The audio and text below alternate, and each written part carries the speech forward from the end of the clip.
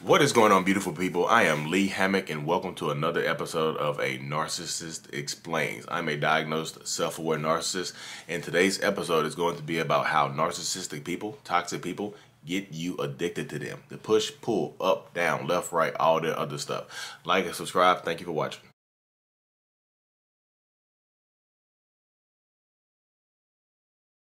How a narcissist gets you addicted to them. And if you're new here, I have narcissistic personality disorder. So I like to call this the savior Satan method. It's where the person that hurts you and causes you pain is also the person that makes you feel better and stops the pain. The person that sets you on fire is the person that puts you out. The person that tries to drown you is the person that throws you the life jacket. Because if a person does this enough, it conditions your mind to only think that this person is the savior. This person, you forget the pain. And the only thing you can think about is the pleasurable moments. And even if you remember the pain, the pleasures a lot of times overrides that, making you become addicted to this person because that you think that they're the only person that can make you feel good. And from the narcissist perspective, a narcissist sometimes will get off on making you feel bad, be, to, will get off on triggering you because if they can trigger you, they can control you. And sometimes, like weirdly, a narcissist, like when they put you in that pain, they cause you to cry and scream they turns them on and they'll end up trying to sleep with you. That's why they say makeup sex is the best sex because you go from pain to pleasure. Hope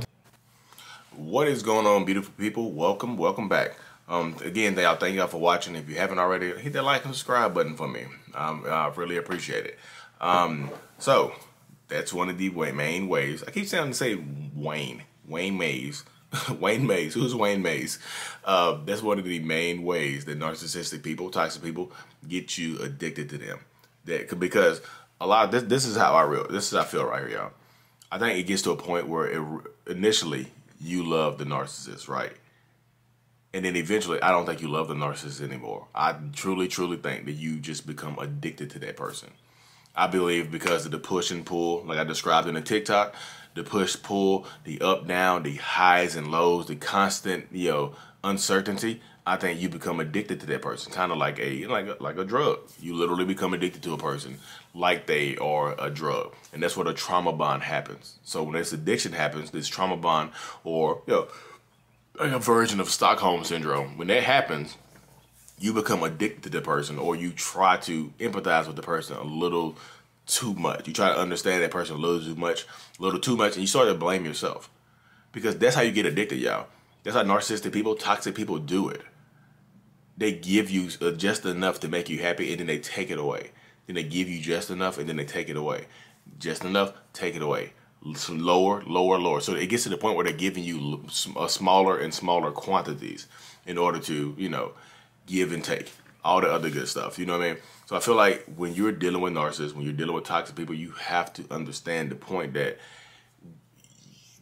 we when it gets to the point where it hurts to leave them or it hurts and they leave you I mean of course it's gonna hurt if they leave you unexpectedly but it gets to the point where it hurts if you leave them and like you go into you have the physical symptoms.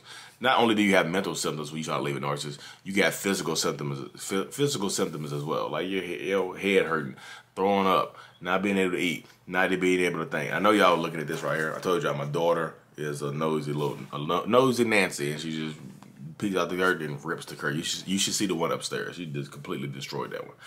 Um, but yeah, if you so you understand that, like I don't think you are in love with the narcissist anymore. I've said that before in a, in a couple of videos. I just think you're addicted to them, and that's how they do it. That's how they do it. They give you enough, and then they stop doing it. They please you, and then they stop doing it. You know, they can you they can also use sex as a way to control you they definitely 100% can. They can use sex as a 100% way of controlling you, especially, you know, men, women, whatever. Like, narcissist knows no gender. You know, they could, but they can definitely use sex to control you, especially if you're a loyal person and you only want to get it from them and they're just not giving it to you anymore. Y'all done got married and all of a sudden y'all were doing, y'all were clapping cheeks like literally every, you know, every day, twice a day, three times a day, like, uh, you know, brushing. It's like you're doing that more than you brush your damn teeth. But now you don't do it at all. You know, now you don't do it at all. They don't even touch you anymore. They don't say anything. They don't give you any kind of loving, caring. No, they don't give you affection anymore. So you're craving it. You remember? You're craving it now. Here comes the addiction. You're fiending. You're fiending for some affection. So when they give it to you, if you're fiending for affection and they give you a little bump like a drug dealer, like a hope dealer, you know, they give you a little bump. Now you're satisfied. Like here's a little hit. You like, you sniff the uh, the affection up, and you're like, ah, ah, mm, I'm good. You know, and then you go off and then you go off again to to that high wears off, and then you get to come back for another. You come back for another hit. You know, that addiction it hurts y'all. That's that's one of the like I said, it's so insidious a lot of times because they do it. Like, I know people are gonna like, well, the stuff that you described, it sounds dark as hell. Do they do that intentionally? It's intentionally un. It's un. So it's unintentional. Uh, I feel like it comes from a level of conscious unconsciousness. Like they've done it so much and it's like just so ingrained in our brains that we just do it naturally. We don't have to think about it. That's just literally how it does. And once, like I said, I truly believe that in the beginning of a relationship with most narcissistic people, just the regular narcissists, not the sociopaths or the, you know, the ASPD people. I'm talking about the regular run-of-the-mill narcissists. I think in the beginning of most relationships, they really feel like they love you. That's why they're doing all this stuff for you. They're actually sacrificing who they really are to make you happy. And they're hiding it. You know, they're, they're hiding who they really are. They're sacrificing who they really are because they don't think you will accept who they really are. You know, they don't they don't think it's possible for anybody to love them, uh, who they really who we really are. So we become somebody else. We become who you want us to be. But once that gets tired, once that narcissistic person gets tired of doing it, they will withdraw from you.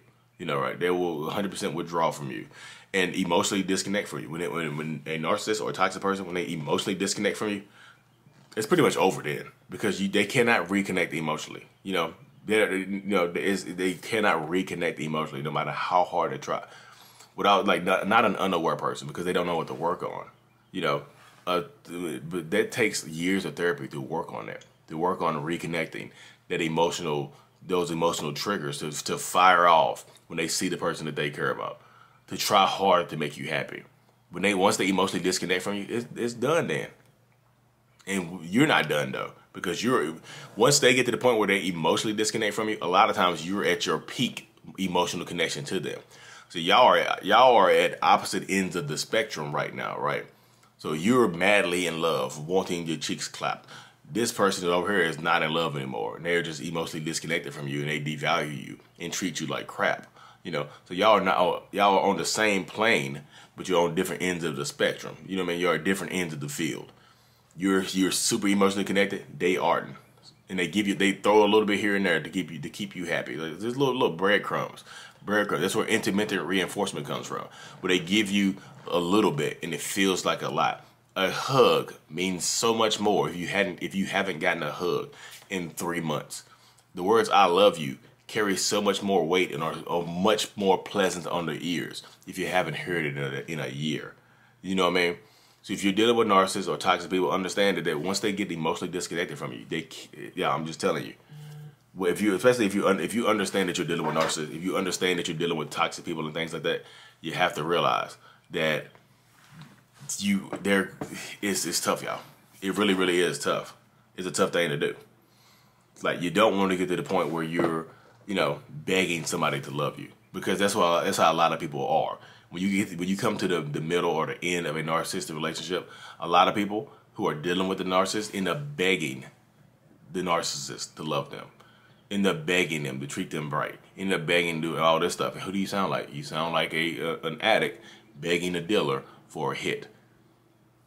You, you are willing to sell. You know how when you have you see these videos and things like that of people of you know drug addicts selling their selling their you know cards and stuff like that, selling their pretty much selling their souls to, to, for a, a, hit to their dealer. Here's the here's the deed to my car. Just give me a hit.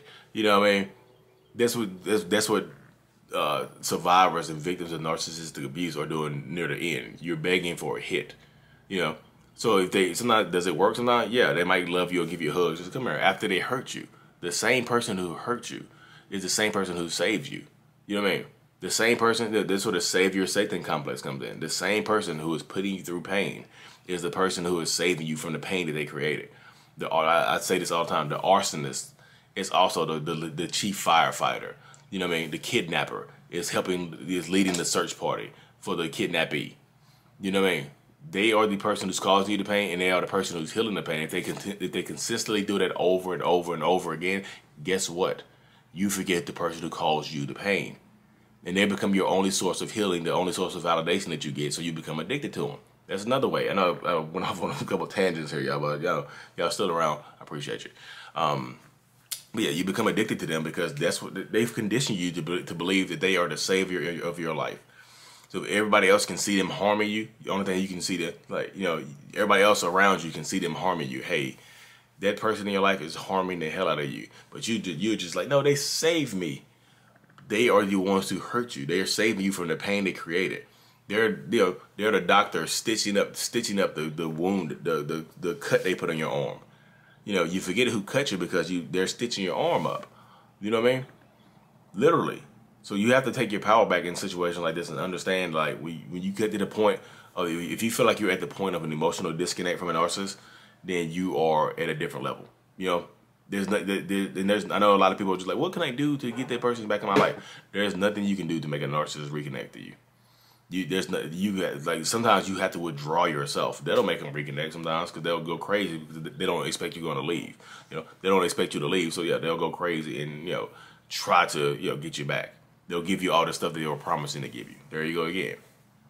They hurt you, and they're trying to heal you. You know, they put a band-aid, you know, they they put a splint on a broken leg, and they the one who put a sledgehammer to it.